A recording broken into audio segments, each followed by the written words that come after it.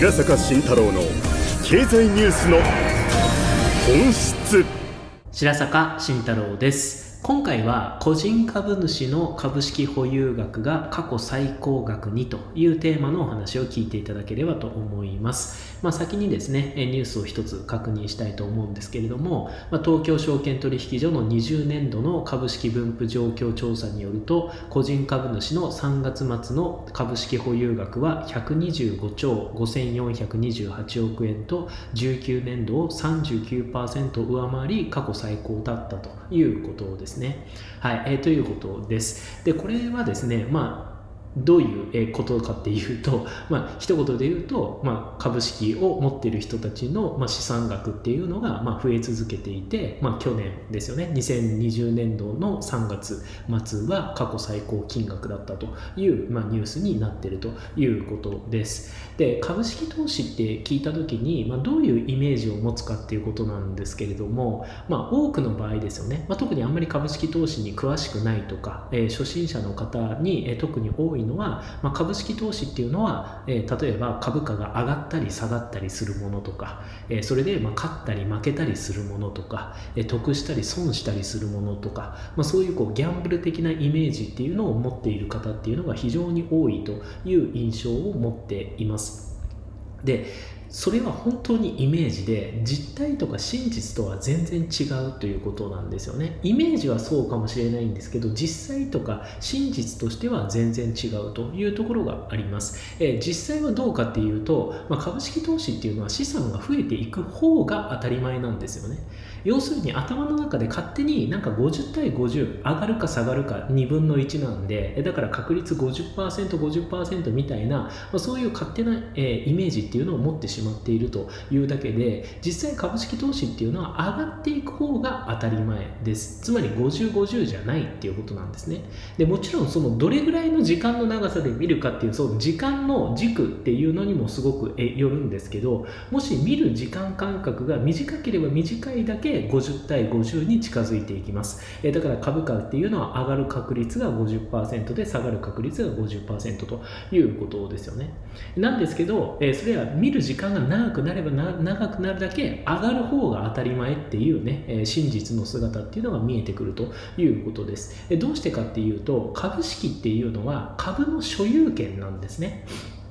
株式っていうのは株の、え会社の所有権です。だから結局会社の価値が上がれば株式の価値は上がると。で会社の価値が下がれば株式の価値も下がるっていうのがもう当たり前なんですよね。まあ表現を変えるならば会社が成長していけば株価は上がると。逆に会社が衰退していくと株価は下がるというのが当たり前です。でそうした時にじゃあ時間の軸を短くとってじゃあ1週間で会社ってどれぐらい成長しますかと。1週間で会社が、ね、どれぐらい成長しますか。じゃあ1日で会社はどれぐらい成長しますかと。1時間で会社はどれぐらい成長しますかと。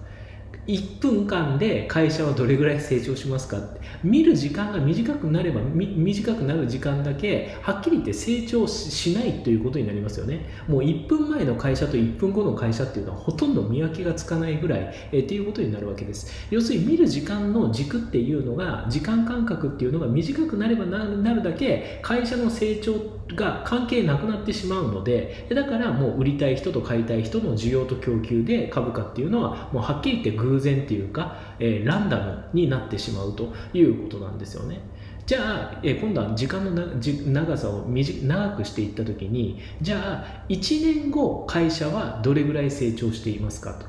5年後会社はどれぐらい成長していますか10年後会社はどれぐらい成長していますかって考えると今度はね成長してる方が当たり前ですよね。で会社っていうのは人がいるわけですよ。社長がいて管理職がいて、ね、社員の方々がいてアルバイトパートの方々がいらっしゃるわけですよね。その人たちってみんな成長を望んでるわけですよ。どうせだったら会社が良くなることを望んでますよね。でそのために一生懸命仕事をするわけです。であれば成長していく方が当たり前ですよね。だから人は成長していく方が当たり前だし人が集まってる組織は成長していく方が当たり前だしそのえ組織が集まってる社会っていうのは良くなっていく方が当たり前なわけです。それは決して50対50ではないということです。時間の軸が長くなればなるだけ良くなっていく方が当たり前。成長している方が当たり前ってことは株っていうのは上がっていく方が当たり前ということなんですよね。だからもし株式投資で損をしたっていう人がいるっていうのであればもうこれはね株価が下がってる時に売ったっていうことしかないんですよ基本的には。自分がね買った金額よりも、ね、安くで売った。要するに株価が下がっていってる時で売ったっていうことしかありえないんですよね。それ以外だったら基本的に株式投資っていうのは資産が増えていく方が当たり前ということです。で株式投資っていうのをの本質っていうのはやっぱりこう結婚に例えて考えるのが一番、まあえー、しっくりくるっていうか、まあ、その本質が一緒なんですよね。基本的に株式投資と結婚っていうのは。結婚っていうのは結局、まあ、一生に一回の、ね、人生の中中で、まあ、自分が最も時間を長く共有する相手パートナーっていうのを選ぶっていうのがま結婚ですよね。で株式投資っていうのは自分の大事なお金っていうのをま預けるというね、え自分にとってすごく大事なお金っていうのをじゃあこの企業にこの経営陣にっていうことでま預けるという意味ですごくこう結婚と株式投資っていうのはすごく似てるんですよね。でそうしたら基本的には結婚生活っていうのは良くなっていく方が当たり前で株式投資っていうのは上がっていく方が当たり前ということです。えなぜなら結婚っていうのは、え例えば1人の男性と1人の女性が共に自分の人生を幸せにしてしたいわけですよね。で2人の共同生活も当然幸せにしたいわけです。であればたたとえ途中の短期的にはねいろんなことがあったとしても長期的には幸せになりたい人と幸せになりたい人が共に役割分担し共に努力し共に協力して、ね、それで悪くなっていくっていうのはおかしいですよね。2人とも幸せになりたいんですよ。で2人とも努力して2人とも協力してるわけですよね。だったら短期的には上げ下げがあったとしても長期的には上がっていく方が当たり前ということになるわけです。まあ、例えばこのグラフっていうのは株式の、え株価の、まチャートの一例なんですけれども、ま、例えば白色ですよね。白色のロウソク足っていうのは前の月に比べて上がった月です。で青いロウソク足っていうのが前の月に比べて下がったロウソク足になります。そうすると白も青も両方とも結構よく出てきてるんですよね。ね、白も出てきたり青も出てきたりつまり上がったり下がったり上がったり下がったりということはしています。え結構このグラフの中には青っていうのもかなりよく出てきてます。つまり下がったってことっていうのもよくあるってことなんですね。中にはね前の月に比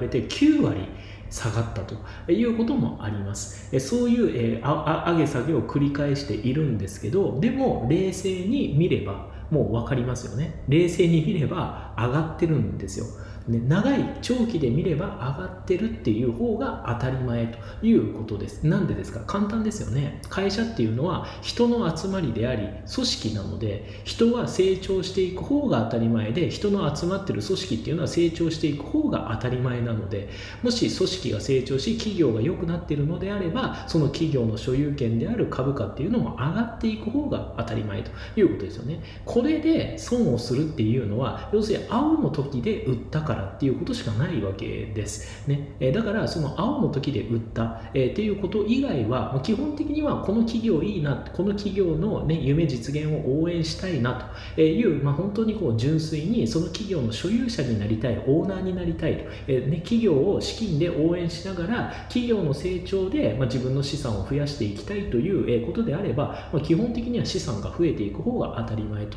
いうことです。はい、これは、さっきのグラフを今度1年単位で、え見た場合ですよね。1年単位こっち先ほどのグラフっていうのはこれ1ヶ月単位です1ヶ月単位。1ヶ月単位だと結構青っていうのも何回も何回も出てくるということですよね。前の月に比べて株価が下がったと、ねえー、ひどい時は前の月に比べて、ね、株価が9割下がったみたいな、まあ、そういったことも実際は起きていたりします、えー、ですけど、ね、これが1年単位ってなると極端に青が少なくなるっていうのをまあ確認していただけると思います、ねえー、結局もう青っていうのと白っていうのを比べたら圧倒的に白の方が多い。つまり前の年に比べて株価が下がったのが青。前の年に比べて株価が上がったのが白っていうふうに見た時に基本的にはまだ1年単位でも、ね、前の年に比べて株価が下がったという年があったとしても基本的には上がっていく方が当たり前で長期ではものすごく大きく上がっていると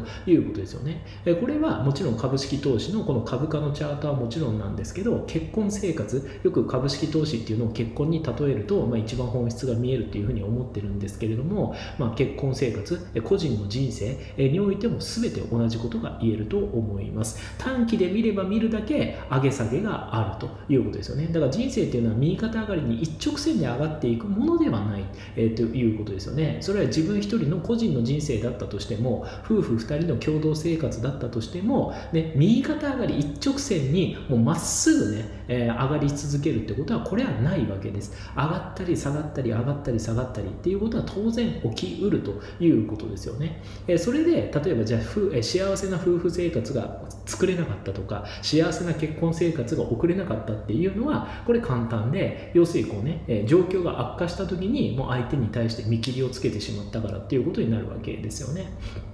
ねえ当然人生には山あり谷ありがある中で、ねえいやもう夫婦生活がうまくいかないとか結婚生活がうまくいかないっていう時は、まあ、結局そのね、え1ヶ月単位とか1年単位で見た時にああもうこの人とはダメだと、えこの人と一緒にいても幸せになれないみたいな感じである意味も結婚に対してとか相手に対して、まあ、幻滅して諦めの気持ちが出てしまって、いるということですよね、まあ、手続き的には離婚っていうのを選んだということになったりするわけです。でも長期だったら上がる方が当たり前ですよね。えなんでかって言ったら結婚ってその人は本人は幸せになりたいんですよ。相手も幸せになりたいんです。えその幸せになりたい人間同士が協力して努力してるわけですよね。だったら長期だったら良くなっていく方が当たり前ということになるわけです。えその時にま大事な考え方っていうのは止める時も、え貧しき時もということでその健やかなる時もやめる時も喜びの時も悲しみの時も止める時も貧しき時時もこれを愛しこれを敬えこれを慰めこれを助けこのその命のある限り真心を尽くしと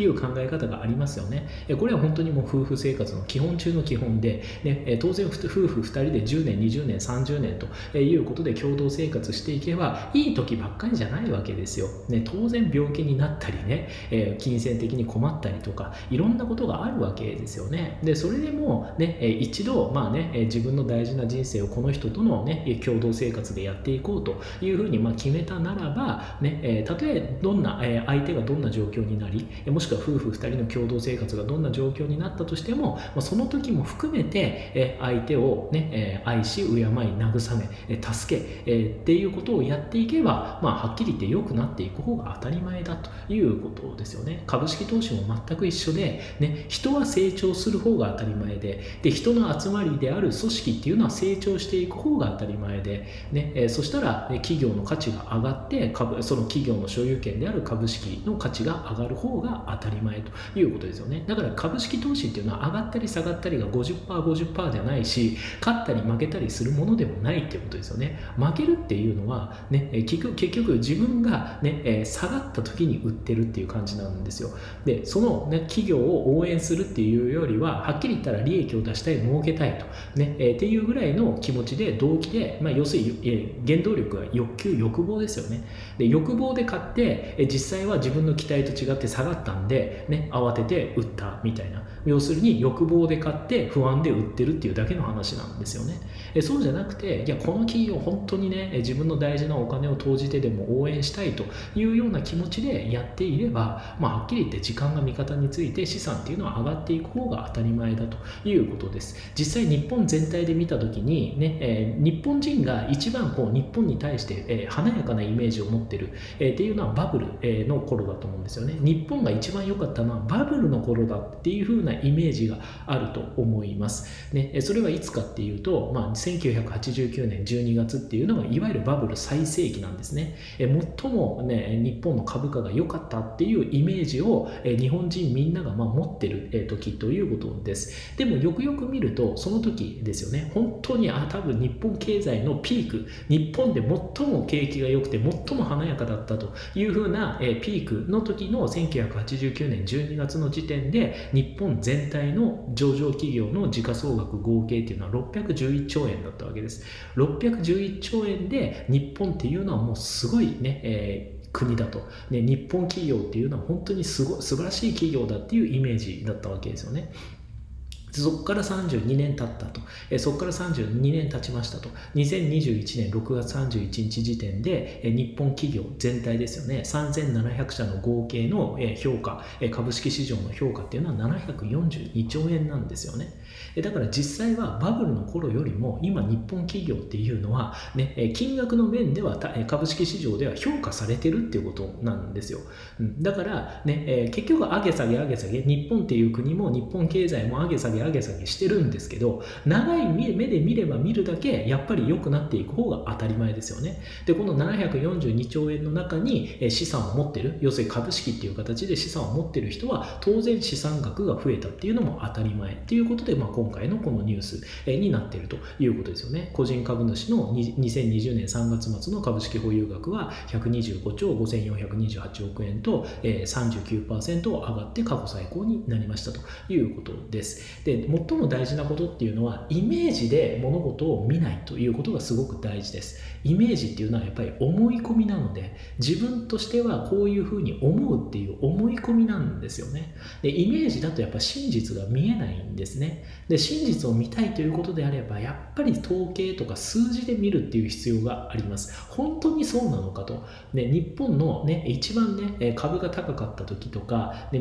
最も景気が良かった時とか華やかな時っていうのは本当にバブルで終わってるのかと。バブルが最高最後だったのかっていうのは見る必要があるんですよね、まあ、今回は株式投資の株の話だったんですけど土地の値段で言った時も同じなんですよ。土地の値段もじゃあ、ね、日本で一番土地が高かったのはバブルの時だっていうイメージがあると思うんですけど実際に東京の銀座とかは、ね、バブルの時よりも地価が高いんですよね実際は、まあ、そういったことっていうのはやっぱり数字で確認するってことがすごく大事だということですで実際物事を本当に正しく合理的に判断したいということであればやっぱりそのね前提になってる、え認識してる事実が正しいっていうことが一番大事になるので自分が正しい事実を認識していて初めて、えこれから正しい決断もしくは正しい合理的な判断っていうのをしていくことができるわけですよね。えだから株式投資って上がったり下がったりする、株価は上がったり下がったりするし、勝ったり負けたりするし、儲かるも損するもね、はっきり言ったら50、50で、ね、まあ、ギャンブルみたいなものだっていうのはまさにイメージですよね。何の数学的な数字的な根拠もないという状態です。それそれだとやっぱりね、同じような結果になってしまって、あ、やっぱり下がったって言って、自分が買った時よりも安い値段で売って損をするということが起きるわけですよね。そうじゃないわけです。上がる方が当たり前なんです。株式っていうのは企業の所有権なので、ね、基本その企業の所有者になりたい、オーナーになりたい、自分の大事な資金を投じてでも応援したい、それがもう原理原則なんですよね。そういう気持ちでやっていれば、多少上げ下げがあったとしても、ね、長期的には上がっていく方が当たり前で、資産は増えていく方が当たり前。その真実っていうのはどこから見えてくるかって言ったら、やっぱり統計とか数字で見えてくるものだということです。だからまずこれから正しい意思決定、合理的な意思決定をしたいということであれば、まず自分の直感とか思い込みとかイメージではなくて、統計とか数字を確認してみるってことがすごく大事です。その習慣っていうのをつけていけば、あ、それは当たり前だよねと。ね、株式市場全体が、ね、大きくなってるんだから、当然その株式っていう資産を持ってる人たちの資産が増えていく。今回で言えば保有額が最高額になったっていうのも、まあ当たり前だという、まあ、その真実っていうのが自然と見えてくるようになるなるというお話です。毎日更新の励みになっています。高評価並びにチャンネル登録をお願いいたします。4大特典をプレゼント中です。説明欄からのメルマガ登録にてお受け取りください。はい、最後までご視聴くださり感謝しています。いつも本当にありがとうございます。白坂慎太郎の経済ニュースの本質。